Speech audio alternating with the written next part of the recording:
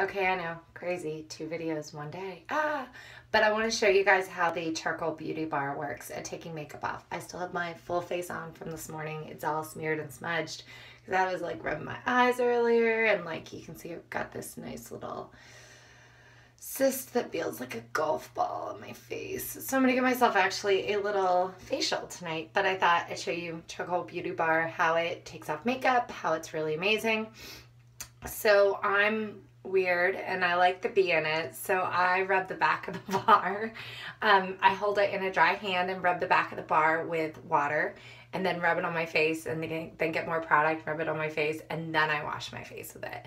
Um, so I'm just gonna get some warm water on my hand and then I'm gonna rub the back of the bar and suds it up, get some product on my fingers and rub it on this side and then get some more product on my fingers and rub it on this side.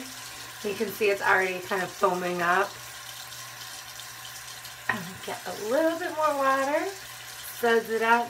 That's the thing about this that's kind of special, um, is that it really will suds up, unlike some of our other cleansers. This one's really, really soapy, um, which is nice. I use it sometimes with a brush that I have from Mary Kay, and it it really, really foams up that way. And I actually thought today, as I was washing my makeup brush um, with the charcoal beauty bar, I'm gonna get a little more product on. Um, as I was washing my makeup brush, I was like, oh, how great. I could actually wash my makeup brush with the soap while I was washing my face. So I might try that. So see, really foamy.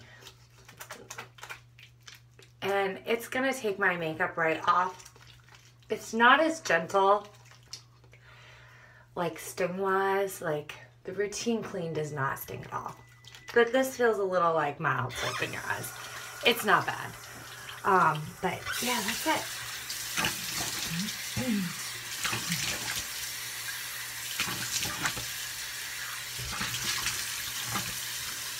So I don't know if you can hear squeaky clean. I don't know if you can see makeup all gone, even from under my eyes, even though there's a big shadow. Uh, the makeup comes right off, which is really, really nice. Really, really nice. Leaves your skin with that like clean, tight, tight feeling that, you know, sometimes you really want. And that's, that's the charcoal drawing everything out of your pores. And then I'm, I'm actually going to follow up with a mask if I can find it. Here it is. Oh, sorry, off frame. Um, I got this from a Fit Fab Fun box, which I used to get. It is a Juice Beauty Mask, and it's a green apple peel for sensitive skin. It's like an exfoliant, so I'm to follow up with this um, just because it's it's fun. I really like doing a mask or a peel or whatever every once in a while. So, uh, and Juice Beauty, really good good brand as well, doing the things that we're doing over here at Beautycounter. So uh, anyway, that's the charcoal beauty bar. Here it is. It's so beautiful. I love it. Yay. Um, and it's it's a really great addition to our product line. It makes a great addition to your routine that you're already using or swapping out. Um, if you like a bar soap a little bit better, have the bar by the sink, have the face wash in the shower, either or. I know bar can be tough with traveling, so I like to bring my face wash to the gym, but this is a great, you know, I have a little bit of extra time. You can do two-step cleansing, or like I did tonight, just one-step cleansing with the charcoal bar. So I hope you try it. Thanks. Bye.